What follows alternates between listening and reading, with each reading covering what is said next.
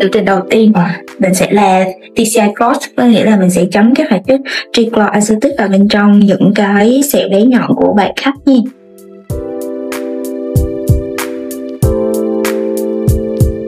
giờ chúng ta sẽ đến với bước thứ hai là cắt đáy sẹo ha. Thì trong cái bước cắt đáy sẹo này á cái cơ chế của nó là mình sẽ sử dụng cái đầu kim nhọn mình đưa xuống phía dưới da chỗ cái vùng mà bị sẹo của khách hàng để mình cắt đứt những cái xương sâu sẹo đi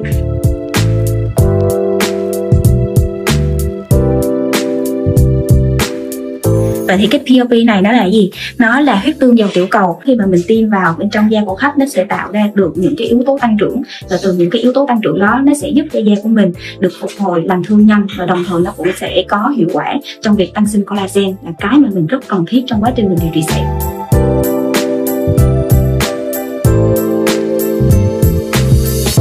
Bây giờ bắt đầu mình sẽ bắn laser, sử dụng cái laser mới tại phòng khám là Dual Glide. Đây là một cái máy rất là hiện đại trong cái việc mà điều trị sẹo và trẻ hóa da bởi vì máy này sẽ có phối hợp của hai bước sóng là 10.600 tức là cái tia laser CO2 và tia 1540 nanomet nha mọi người.